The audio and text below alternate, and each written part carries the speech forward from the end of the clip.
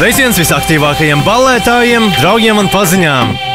Telpa un kluba tulsiņa sezona uzņem apgriezienus, jo tieši 12. novembrī Gulbens kultūras centrā pulkstens 21. norisināsies Latviešu klubu un deju mūzikas ballītē. Ballīte! Pasākumā uzstāsies latviešu mūzikas remixu veidotājs DJs un producents, Revers, Revers. Kā arī vakar īpašie viesi grupa Music ar savu jauno hītu Miljonārs. Ballīti iesildīs DJs Zintis un DJs Ričī. Ies maksa līdz pulksten 22. 3 lati, savukārt pēc pulksten 22. 4 lati. Atbalsta Latviešu radio, Latviešu klubu mūzikas stunda, kas notiek LV, Izīčet LV, SLB reklāmā 1188 viegli uzzināt un portāls draugiem LV.